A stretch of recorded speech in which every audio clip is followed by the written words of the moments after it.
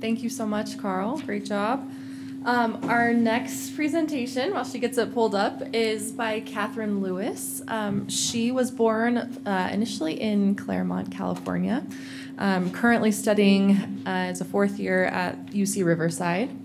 Um, interesting to know about Catherine, she uh, studied American Sign Language in college and is relatively proficient at it at this point. I needed her help last week with a patient. Um, and she's going to be speaking to us today on aniridia more than meets the iris. Clever. Hi, everyone. Good morning. Um, today I will be talking about aniridia and about the management of the condition as well. So I have no disclosures as a med student. Uh, starting with a clinical case, we had a 35 year old male with a past history of congenital aniridia and aniridic glaucoma who came to clinic for an IOP check. Uh, you can see his surgical history here. He's had multiple diode lasers to both eyes, as well as goniotomy for the treatment of his glaucoma. He also has had iris diaphragm insertion bilaterally and cataract surgery as well. You can see on the left his current medications. He's on a host of different things for the control of his glaucoma. On physical exam, his visual acuity was 2400 in the right eye, 2300 in the left. And his IOP was 12 in the right and then 30 in the left. Now, typically for this patient, a goal IOP would be mid to low teens. Furthermore, on exam, you can see on slit lamp he had faint keratopathy, trace cell in the anterior chamber, as well as his iris stump had been rotated anteriorly, which we'll talk about later. He also had cupping on his fundoscopic exam and noticeable cup to disc ratio of 8 and 8.5. So I'm going to take a break for the patient here. And basically, we want to review today about aniridia and how complex of a condition it truly is. Now, as you saw, our patient had congenital aniridia and a very difficult glaucoma to treat. And unfortunately, for most patients with aniridia, their case is no different in terms of the complexity. However, their clinical features may differ. So today we'll step forward and talk about the clinical features of aniridia as well as management. So first, as an overview, aniridia has a global prevalence of 1 in 40,000 to 1 in 100,000. And most cases are autosomal dominant, however, there are sporadic cases as well. When you have sporadic cases, you want to think about screening your patients for WAGR syndrome as well. And now it's believed to be associated, and actually a lot of research has clinically associated aniridia with a PAX6 mutation on chromosome 11. And so on the left here, you can see a patient with aniridia as well as a significant uh, cataract. And then on the right, we also have another patient with unilateral aniridia. Now, typically, unilateral cases are acquired while congenital are bilateral.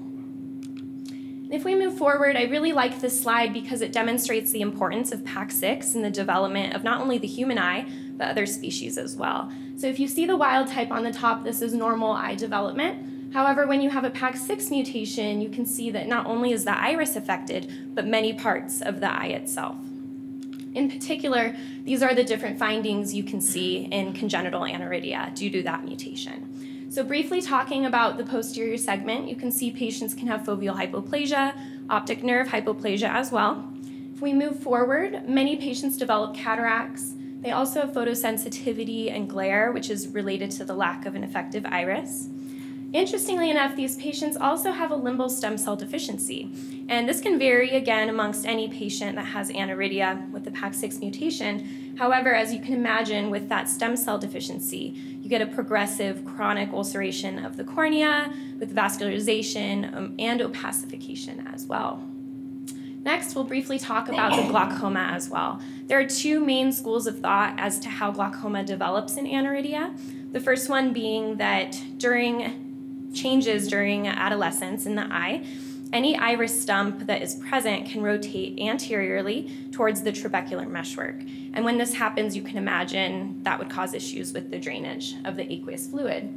The other idea is that even just at birth with the congenital aniridia, you can see changes in the anterior chamber, which could result in the glaucoma as well. And so today we're mostly going to be talking about the anterior segment. As you can see, aniridia is a very extensive conversation that will require much more than 10 minutes today. But I would like to touch on the keratopathy, cataracts, glaucoma, and then there are interestingly some prostheses available to patients with aniridia, which we'll touch on, and dilemmas of care. And I included this photo because aniridia, it truly is a balancing act when you're treating patients because treating one entity can worsen the other, and it, there's just a lot of complexity with it as well. So first, touch, touching on the keratopathy, there are three main phases of the keratopathy seen in aniridia, phase one through phase three, phase one being the least severe, phase three being the most severe. And so as you could imagine, treatment will change depending on the severity of the keratopathy present. And so even in more severe stages, patients may need amniotic membrane transplantation, corneal graft, or even in some cases, a keratoprosthesis, which I'll talk about a little bit later.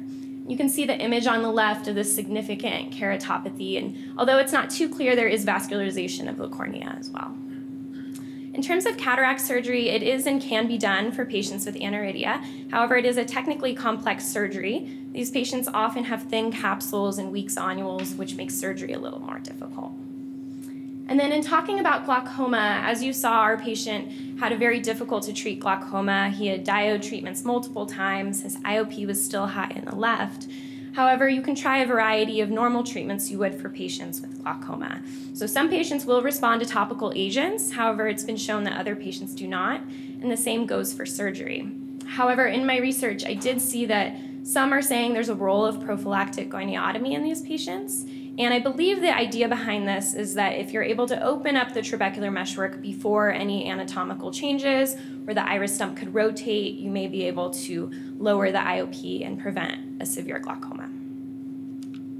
And next, we'll briefly talk about the keratoprostheses. Um, this is really interesting, and I hadn't heard of it before, but in my research, it's not performed everywhere, and very few centers do this surgery. But as you can see, there's two plates that surround the corneal graft, and the bottom plate, or the back plate, has holes in it, which are then punctured through the cornea to allow for exchange of nutrients. And you can see the image on the left demonstrating what the implant looks like after it's been done. Now, in my research, I saw patients can do quite well with these implants, and some patients even had improved visual acuity of up to 2200, which is pretty good for aniridic patients. However, there is, of course, risk of rejection, infection, and even membrane formation in the back of the eye. And next, we'll touch on aniridia rings and implants. There are many companies that make iris diaphragms that can either be cosmetic or purely functional, and Morcher is one of the companies that designs these implants for patients. They can be implanted either in the sulcus or in the capsule as well. And these are two patients from the Moran on the left. And given how their implant looks, I would suspect that it's in the 50 series, which you can see right over there. Um, and when these are implanted, you know, the main goal is to decrease photosensitivity and glare for patients. And they're quite effective, although difficult to capture on image. And lastly, I would like to touch on dilemmas in care of aniridia. Uh, whenever you have a patient with aniridia, they don't simply just have cataracts or they don't just simply have glaucoma. They often have multiple, multiple features, which can make treatment difficult. So specifically, the relationship of treating glaucoma and keratopathy should be considered. Um, some of the drops used in glaucoma treatment can worsen keratopathy, and as well, repeated limbal manipulation and surgery could also cause issues for the keratopathy, as you would imagine, since patients have lower stem cell counts in these areas. And so, whenever you're treating the glaucoma and patients have a severe keratopathy, you do, of course, want to weigh the risks and benefits for these patients and the best treatments available for them.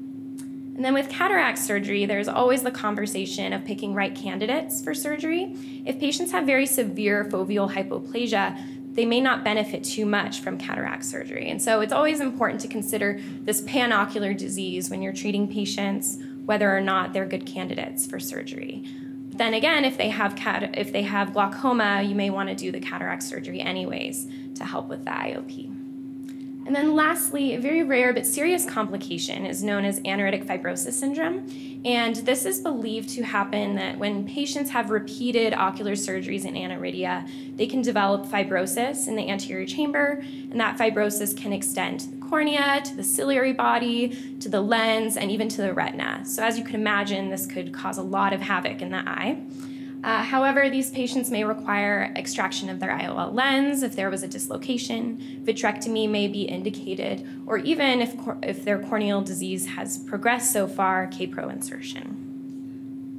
So with that, I would like to say thank you. I think aniridia is very, when I chose the topic, I didn't realize how extensive it would be. Um, but I think today was a good reminder of the complexity and how important it is to really consider your patient as a whole when you're treating their aniridia and that you know weighing the risks and benefits is important and they probably will be your patient for life given the complexity of their disease. So thank you. I'm open to questions